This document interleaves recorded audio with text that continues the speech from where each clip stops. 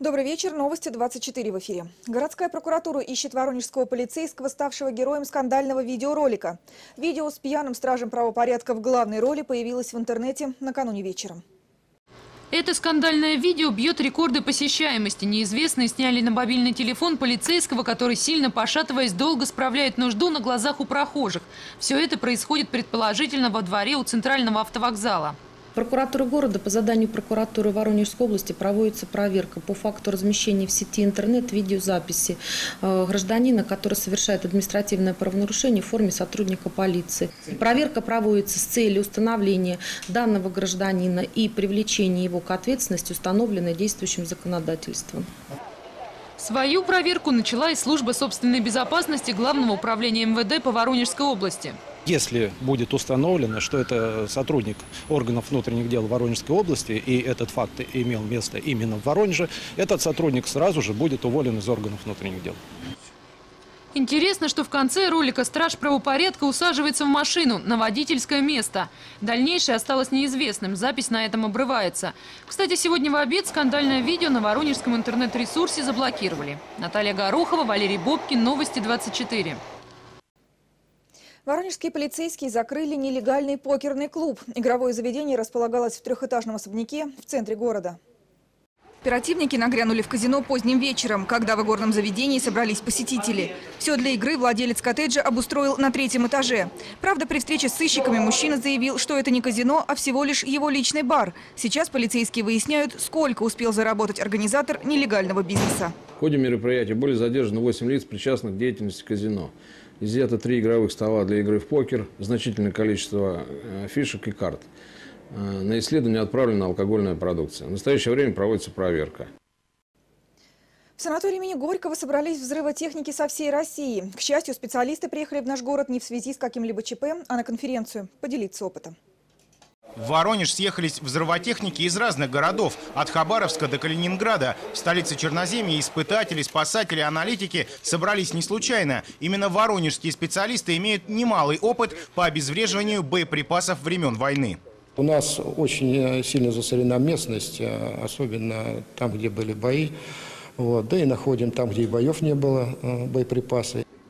По оценкам специалистов, в земле Воронежской области сейчас находится около 400 тысяч боеприпасов времен войны. Особо взрывоопасная обстановка в местах находок сложилась прошлым летом, в жару. Закладка зарядов для уничтожения боеприпасов проходила при особых мерах безопасности. Ведь здесь находится больше 400 килограммов взрывчатки. И малейшее неосторожное движение на 35-градусной жаре может спровоцировать взрыв. Участники конференции смогут познакомиться с реальной работой воронежских взрывотехников. С учетом того, что среди гостей есть исследователи и производители взрывчатки, такое общение будет весьма полезным. Сергей Агапов, Валерий Бобкин, Новости 24. Только воронежские медики будут работать в областном перинатальном центре. До его открытия остается совсем немного. Губернатор Алексей Гордеев, лично контролирующий ход строительства, в очередной раз побывал там с проверкой. В этот раз губернатору показали практически готовые приемные родовые отделения, палаты и операционные. Сейчас в центре монтируется оборудование. На его закупку ушло почти 425 миллионов рублей. На сегодня практически завершены уже все отделочные работы. На 80% смонтировано все оборудование, в первую очередь медицинское. 100% оборудования медицинское, технологическое имеется уже в наличии. Э, мы идем по графику. Штатное расписание перинатального центра уже утверждено. Здесь будут трудиться более 1600 человек, 335 из которых врачи. Все медики воронежские, воспитанники нашей медакадемии. Все врачи лично через меня проходили, а справки мы объективные наводили, то есть профессиональный опыт, организационный опыт, стремление сами развиваться. Все заявления уже подписаны. Официально приступить к работе врачи смогут уже в 20-х числах, а первых пациенток центр примет в день своего открытия, 30 июня. Светлана Масалова, Александр Федоров, Новости 24. Платоновский фестиваль набирает обороты. Его программа составлена так, что накануне спектакля или концерта журналисты могут пообщаться с артистами. Так наши корреспонденты встретились с актерами нового рижского театра Гундерсом Абалиншем и Евгением Исаевым. На сцене камерного они играют Соню. Гундерс Абалинш исполняет роль главной героини – женщины одинокой и некрасивой, но готовой даже на самопожертвование. Накануне воронежской премьеры актеры опасались, что известность этой постановки может сыграть с ними злую шутку. А если ты уже подготавливаешь, вот сейчас будет что-то гениальное, вот весь мир уже видел, мы еще нет, но сейчас увидим. Вот прокурор не достал, а мы достали билеты. Понимаете, это очень-очень сразу закрывает зрителя. Он не понимает, а, а что же тут гениальное? Вот это, нет, а может быть это, а, а. И пропускает э, все самое главное, быть удивленным. Опасения оказались напрасны. Соня покорила воронежцев своей глубиной и искренностью. Платоновскому фестивалю присоединилась и галерея «Хлам». Там восемь авторов из Воронежа и Москвы знакомят посетителей с историческим авангардом 20 века.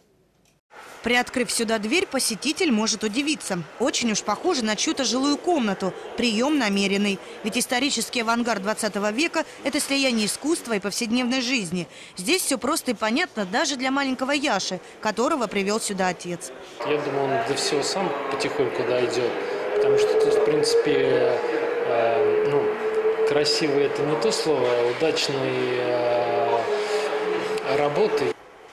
Современные произведения искусства авторы приспособили для жизни. Абстрактные металлические скульптуры, к примеру, служат вешалкой. Экспрессивные бетонные экспонаты, как будто домашние питомцы. А статуя юноши в исполнении Ивана Горшкова – попытка создать своими руками нечто, похожее на объект природного происхождения.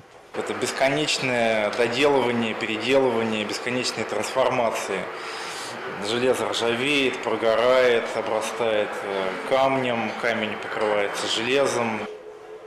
Все 12 работ – это лишь руины утопии, говорят авторы. Остатки того, чего уже нет. Для художника Николая Алексеева идеальным утопическим объектом стал Северный мост. Я просто помню из детства, как по нему ходил трамвайчик по праздникам, где там раздавались, ну там было продавал буфет, продавался там сладкая вата, еще что-то такое. Вот. А сейчас как бы такой пустырь. Эта авангардная экспозиция будет работать в хламе до 30 июня. Анастасия Ермакова, Евгений Адамов. Новости 24. Традиционные платоновские чтения в этом году проходят тоже в рамках одноименного фестиваля. На конференцию, посвященную жизни и творчеству Андрея Платонова, собрались словесники из разных стран. Эти профессора, прибывшие из разных уголков мира, знают об Андрее Платонове лучше большинства его земляков. Англичанин Филипп Буллок в платоновских чтениях участвует впервые, но творчеством воронежского писателя увлекся еще 15 лет назад.